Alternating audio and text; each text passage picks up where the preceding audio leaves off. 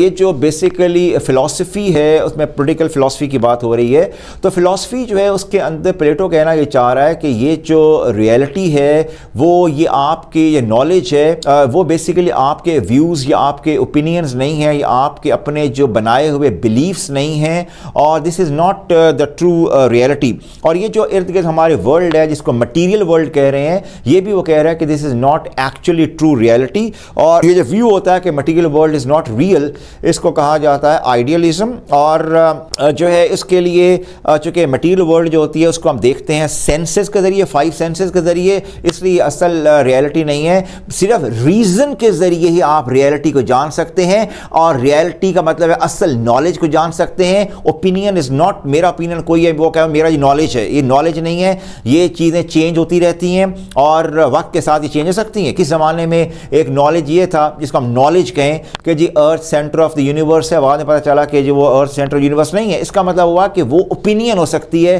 that is not real knowledge तो जो प्लेटो का वर्जन है ऑफ़ आइडियलिज्म का वो कहलाता है ट्रांसेंडेंटल रियलिज्म गौर करें transcendental realism T R N S C N D E N T L और इसको हम ट्रांसेंडेंटल रियलिज्म कहते हैं।